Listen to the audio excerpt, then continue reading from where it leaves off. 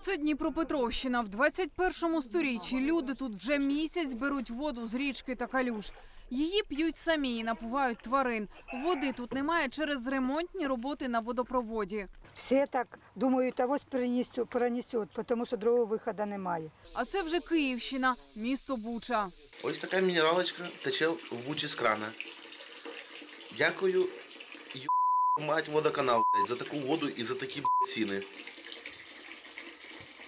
О, нафта, мать. А це вода зі свердловини. Так само на Київщині. На перший погляд чиста і прозора, але лише ззовні. Изначально вода идет чистая, прозрачная из скважины. На следующий день вода становится вот такой.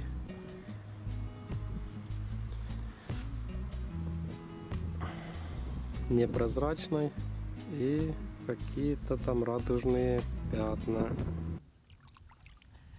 Більшість українських міст, розташованих з отечею Дніпра, для пиття використовують саме річкову воду.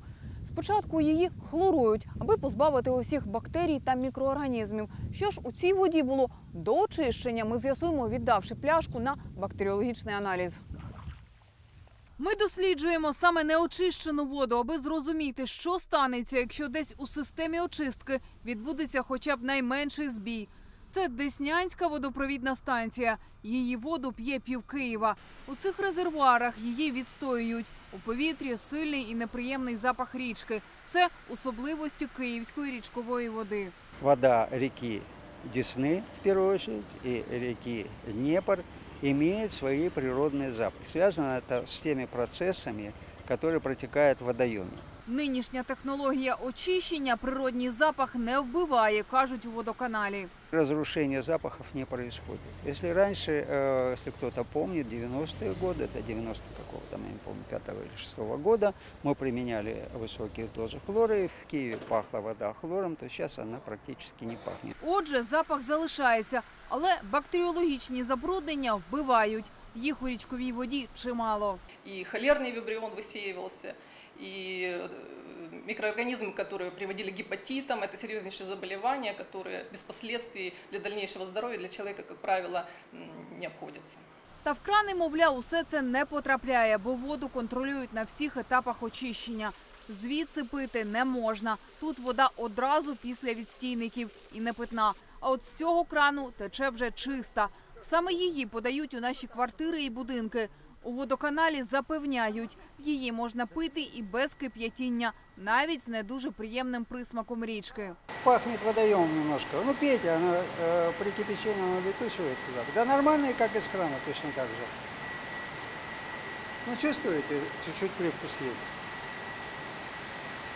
Тим часом у набраній нами воді з Дніпра експерти виявили фекальне забруднення. Якщо таку воду погано очистять і це потрапить у крани, чекайте масового спалаху гепатиту. Якщо ковтнете під час купання, інфекція так само неминуча. Очищення води від фекалій і не тільки це турбота бортницької станції аерації. Безпомилково знайти її можна за запахом. Все, що ми зливаємо в каналізацію, тут смердить на кілька кілометрів, бо відстійники відкриті. Это входящая вода, это стоки города Киева, это бытовые стоки, промышленные стоки. Ну, как вы думаете, какие могут быть запахи? Перш ніж стічні води потрапляють назад у річку, вони також мають проходити тривале очищення. Это механическая чистка, отбор песка, потом механическая чистка в первичных отстойниках.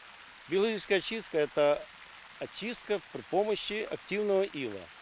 Активный ил – это есть микроорганизмы мельчайшие.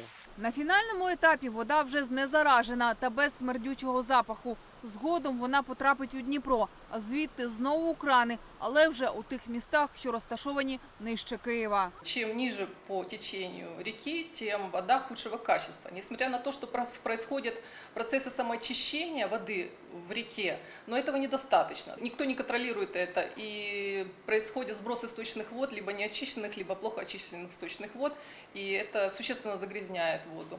Саме неякісну воду фахівці називають причиною багатьох хвороб українців. Это не значит, что все люди и в большом количестве и мгновенно заболеют.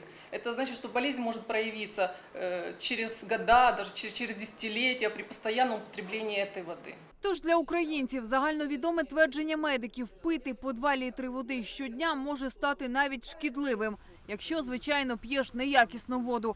А враховуючи цілком реальну загрозу так званого блекауту, тобто відключення електрики, ризики потрапляння саме неякісної води у водопровідну систему збільшуються. Адже очисні споруди, так само як і все в 21 сторіччі, живляться такою самою електрикою.